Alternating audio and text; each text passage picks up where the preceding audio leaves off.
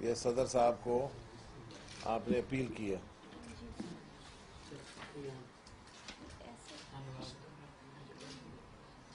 میں اللہ کے نام سے شروع کرنا چاہتا ہوں، جو رحمان ہے اور رحیم ہے۔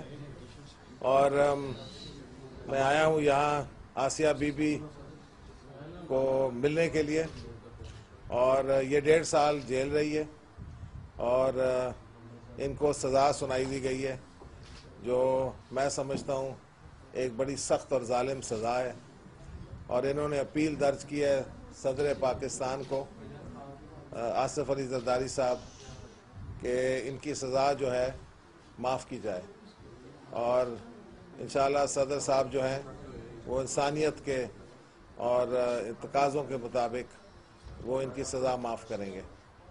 اور میں یہ بھی کہتا چلوں کہ قائد اعظم محمد علی جناح کا جو پاکستان ہے، اس میں ایسا قانون نہیں تھا اور کبھی نہیں ہو سکتا تھا۔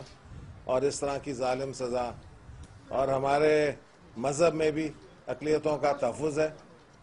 اور پاکستان کے بانی قائد اعظم محمد علی جناح نے سفید پٹی لگائی تھی پاکستان کے جھنڈے پہ، تاکہ اس میں اقلیتوں کا تحفظ اور اقلیت، اقلیتوں کی پہچان تھی۔ اور اس لیے یہ جو ان پہ کو سزا سنا دی گئی ہے، میں سمجھتا ہوں یہ انسانیت کے خلاف ہے۔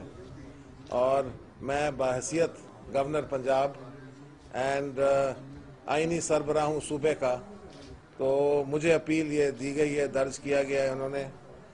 اور یہ اپیل صدر صاحب کے پاس میں لے جاؤں گا اور انشاءاللہ ان کی سزا معاف کر دی جائے گی۔ جہاں اس ملک میں نڑینوے فیصد لوگ مسلمان ہیں اور ایسا کبھی نہیں ہو سکتا کہ رسول پاک کی کوئی توہین ہو، یہاں سارے مسلمان ہیں اور مجھے یقین ہے ان کے کیس میں میں نے اسٹڈی کیا ہے کہ کوئی ایسا واقعہ ہوا نہیں ہے۔ یہ بے بس غریب عیسائی عورت ہے جس کے پاس کوئی لیگل دفاع بھی نہیں تھا، کوئی قانونی دفاع بھی نہیں تھا اور نہ ان کے پاس وسائل ہیں کہ وہ اپنی دفاع کر بھی سکے۔ تو ایسے غریب اور بے بس اقلیتوں کو اس طرح کے کیسز میں ملوث کر کے، تو یہ آئین کا اور پاکستان کی سوچ کا اور قائد اعظم کی سوچ کا مذاق اڑایا جا رہا ہے۔ تو اس لیے یہ اپیل انہوں نے کی ہے۔ اور انشاءاللہ ان کی سزا جو ہے معاف کی جائے جو ہے حق یہ صدر کا ہے آ، شیخ فورٹی فائیو اس کے تحت ان کو پوری مکمل ان کے اختیارات ہیں کہ وہ کسی کو معاف کر سکتے ہیں۔ تو میرا خیال ہے یہ سزا جو ان کو سنائی دی گئی ہے ان کے تحت صدر صاحب ان کو رہا کریں گے۔ مسلم انشاءاللہ نہیں ہونا چاہیے۔ اس میں مذہب کا تعلق نہیں ہے۔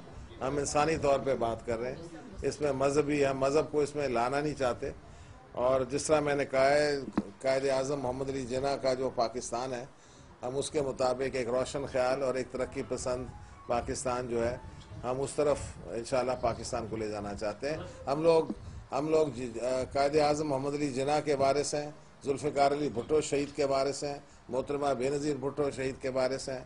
تو ہم ایک ترقی اور پسند اور روشن خیال پاکستان دیکھنا چاہتے ہیں۔ کیا یہ ابھی بھی آپ محسوس کر رہے ہیں کہ پاکستان میں عدلیہ جو ہے غلط فیصلے کر رہی ہے؟ دیکھیں میں عدلیہ کے فیصلوں میں جانا نہیں چاہتا ہوں۔ یہ ایک جج کا فیصلہ ہے لیکن یہ کنوکشن جو ہے ان کی برقرار رہے گی۔ لیکن ہم سزا معاف کر رہے ہیں۔ تو ہم نے ان کے عدلیہ کے کارروائیوں میں میں مداخلت نہیں کرنا چاہتا ہوں۔ میں انسانیت کے تحت ان کی سزا معاف کرواؤں گا۔ نہ صرف پاکستان تو بہت بڑا ہے مگر ڈسٹرکٹ شہورہ میں بعض ایسے ڈسیزن ہیں۔ کیا وہ لوگ جو وہ مستحق نہیں ہے وہ ان ان کو وہ آپ نہیں دے سکتے یہ بات کیس تھا کہ یہ برن میں جو بہت زیادہ پروٹیسٹ ہوا ہے اس وجہ سے آپ یہاں پہنچے ہیں؟ دیکھیں میں اس وجہ سے نہیں پہنچا ہوں یہاں۔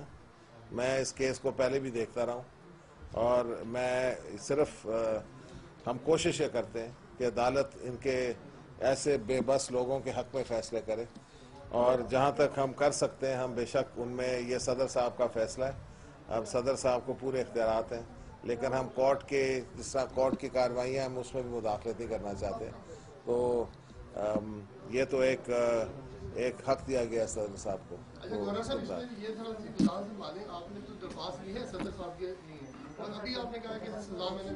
میں نے نہیں کہا میں نے معاف کیے میں نے کہا تھا انہوں نے آسیہ بی بی نے اپیل درج کی ہے صدر صاحب کو۔ اور صدر صاحب کی میں آئینی سربراہ ہوں صوبے کا۔ میں اس اپیل کو لے کے صدر صاحب کے پاس جا رہا ہوں اور یہ ہوم ڈپارٹمنٹ کے پاس اپیل بھیجیں گے۔ جس طرح قانون کے تحت۔